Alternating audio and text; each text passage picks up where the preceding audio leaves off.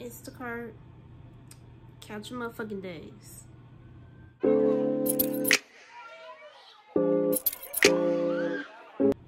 Hey y'all, welcome back to my channel. You're watching CTV. My name is Calandra and I'm back with another video. And for today's video, it's not gonna be really long. I'm just gonna update you guys on my Instacart journey. I did get a question and um yeah, basically I'm just disappointed. Like, I'm just really disappointed because, like, I really wanted to make this be a thing on my channel and it just ended up not being what I thought it was going to be. So I'm just going to talk about it. It's really not much to say, but I'm just going to talk about why I'm not doing it anymore. I'm just going to say I did my eyebrow, I did my eyelashes kind of wrong. I was trying to like hurry up and kind of look cute for the camera, so don't mind it. But anyway, um, and I'm only pointing it out because like I'm kind of uncomfortable. Like yeah you can see. But anyway um so I have done Instacart for a video. I have been doing it a couple of months before I made that video. Basically like a week after I posted that video like my deliveries have just been getting less and less and less like i haven't get i haven't been getting the same offers as i was getting and it's just declined like my offers have been declining for deliveries I don't know why. Like, I didn't do anything to piss off Instacart. You know, I've been doing a good job. My rating is a 4.91. So, I was literally close to getting a 5. I think I have only gotten one complaint when I first started, which was long before I even made that video and I guess it was because like I did like like a three a three delivery like delivering to three different houses. And supposedly I forgot to give a customer something. So that was that. Anyway yeah I didn't really do anything bad to piss off Instacart. Um they don't really you know get on you about being late or anything like that because I had a couple times I was late you know, I busted my ass for Instacart. I was making good money. You know, I was making like maybe up to 50 to $100 a day because I kind of did it part-time. I wasn't doing it like full-time. And I don't really like to do stuff at night because my vision is all messed up. So I was making decent money off of it, okay? So as soon as I did that video, as weeks went on, like my deliveries started declining. Like they weren't popping up as frequently and then it just got worse. Like as time went on it just got worse to the point where i wasn't really getting any deliveries at all. What was happening was i was getting a lot of this. When they would pop up i would get a lot of like stuff like okay i'm not gonna tell y'all where i live at but i would get deliveries in areas that are 30 minutes away from me. I'm not gonna do that. When i was definitely getting deliveries that were literally like five to 10 minutes away from my home. So yeah, I was getting offers in Del Mar and Carlsbad and that's like literally 30 to 45 minutes away from where I live. Like San Diego is huge. So yeah, I was not doing that. And that's like the only time I would get deliveries. And when I did, they would pop up for like one second and as soon as I open the app and I would be as quick as I possibly can they would just disappear like completely gone. And I just wouldn't understand it. It just kept happening. And then like I just went to customer service. Like I tried to contact them and ask them about the issue. And they would just tell me oh well just refresh the app and you know you can get you'll get some. And then you know I tried it. I did it. And it worked for like one second. Like I got like maybe one little delivery out of it and it wasn't even that good of a delivery. It was like maybe a 18 $20 delivery, which isn't bad. But I was used to getting like 30 $40 deliveries in my local Walmart. All I had to do was drive that nine minutes away or whatever, you know, there was so many grocery stores in my area and I would just make some fast money. Like it was so easy, simple. Like Instacart was literally my favorite job ever because I haven't worked a nine to five since 2020. Yeah, I literally haven't had a job. Um, I have like issues going on with my IDs and stuff, so I'm like trying to fix that before I actually start working again.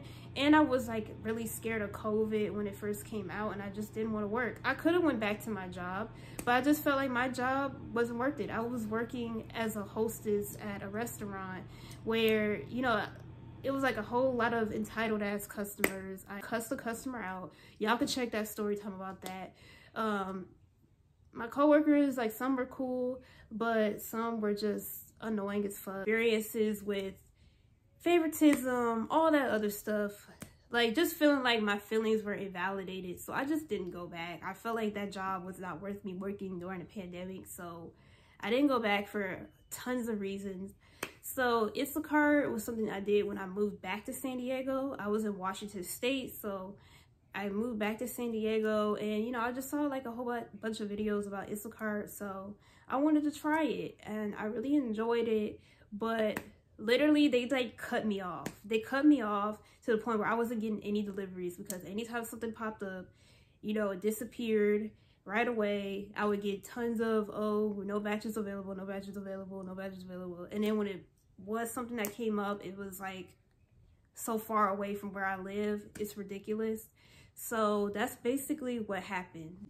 And it was just really confusing because I don't know what I did wrong. I don't know why they did me like that. And I have heard, you know, other Instacart shoppers say that. However, I would still see people still thriving off of there, like getting deliveries back to back. So I was just really confused as to why I wasn't getting any deliveries because I really wasn't getting any. So that really hurt me. Like it really hurt me. You know, I started to do Shipt and now Shipt is starting to do the same thing.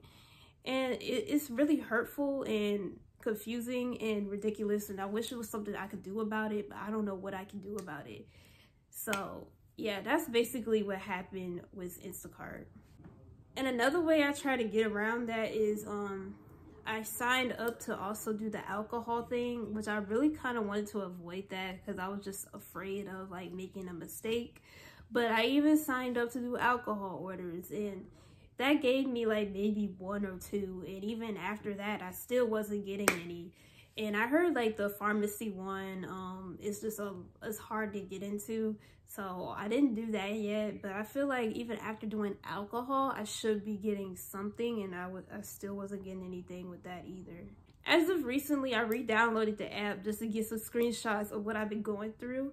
And I will say that I did see a couple of offers in my area that weren't too bad, but they weren't as high paying as they were before. Like the highest I would see was like $15.99. Gas prices have went up tremendously.